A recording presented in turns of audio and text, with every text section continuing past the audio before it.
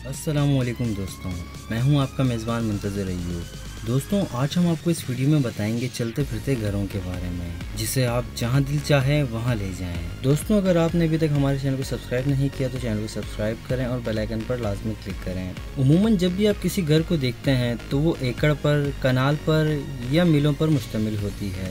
लेकिन आज हम आपको जिन घरों के बारे में बताएँगे, वो ना तो एकड़, ना कनाल और ना ही मिलों पर मुश्तमिल है। जी हाँ ये घर सिर्फ़ 10 से 12 फीट एरिया पर बनाया गया है। ये अनोखा काम एक कैनेडियन कंपनी ने किया है। इस घर की बुनियादें ज़मीन के अंदर नहीं, बल्कि ज़मीन के ऊपर मौजूद हैं। लिहाजा आप इसे जहाँ चाहें घर के सामान की तरह मुंतकिल कर सकते हैं। इन घरों को शुरू में कैंट होम का नाम दिया गया था, मगर अब इसे खाना बदोश घर का नाम दिया गया है। दस फीट रकबे पर तामीर घर के फर्नीचर के बारे में जानकर आपकी हैरानी मज़ीद बढ़ जाएगी। इस जदीद मोबाइल होम में बेडरूम, बाथरूम और किचन के साथ लिविंग रूम भी मौजूद है। इस घर को बनाने का मकसद भी इंतहाई दिलचस्प है। डिज़ाइनर आइन कैंट का कहना है कि हम में से हर एक की ख्वाहिश होती है कि वो बड़े शहरों और दारुल हुकूमत में रहे और वहाँ उसका खुद अपना घर हो। इस ख्वाहिश को पाए तकमील तक पहुँचाने में हमारी उम्र गुजर जाती है, मगर हम उस घर का ख्वाब अपनी आँखों में लिए इस दुनिया से रुखसत हो जाते हैं। अब ऐसा नहीं होगा। आप बड़े शहरों में काम भी कर सकेंगे और वहाँ अपने घर में भी रह सकेंगे। आइन कैंट का कहना है कि उन्हें इस घर को मुकम्मल डिज़ाइन करने में 35 साल लग गए।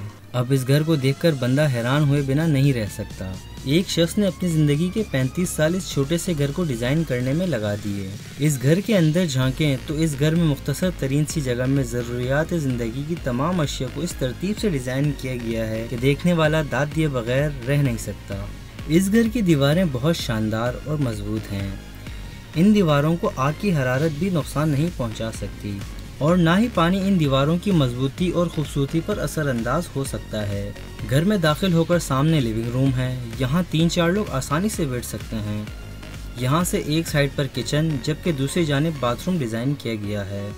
इस घर में बिजली का इंतज़ाम सोलर सिस्टम के ज़रिए किया गया है।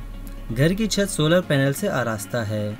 और इन प्लेट्स से बनाई जाने वाली बिजली इस खाना बदोश घर की ज़रूरत से कहीं ज़्यादा होती है।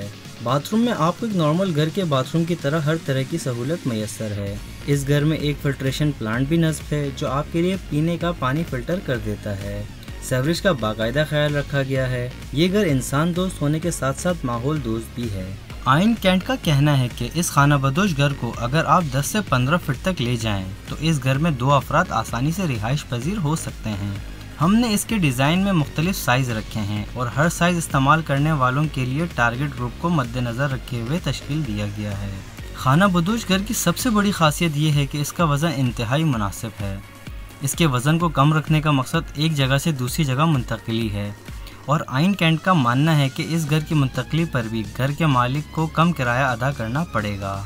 घर में मौजूद दूसरी मंजिल पर आपका बेडरूम सजाया गया है। इसके साथ एक रोशनदान है जो आपको एकदम कुदरती माहौल का हिस्सा बना देगा। अब बात आती है इस घर की कीमत की। तो वो कीमत सिर्फ़ 25 से अट्ठाईस हज़ार डॉलर है। 25 से अट्ठाईस हज़ार डॉलर में आप इस घर को खरीद सकते हैं। और घर के साथ वो तमाम अशिया जिनका ज़िक्र वीडियो में पहले किया जा चुका है, वो आपको साथ ही मिलेंगी। तो दोस्तों, उम्मीद है आपको ये वीडियो पसंद आई होगी। इस तरह की मजीद इन्फॉर्मेटिव वीडियोस देखने के लिए आप हमारे चैनल को सब्सक्राइब करें और बेल आइकन पर लाजमी क्लिक करें।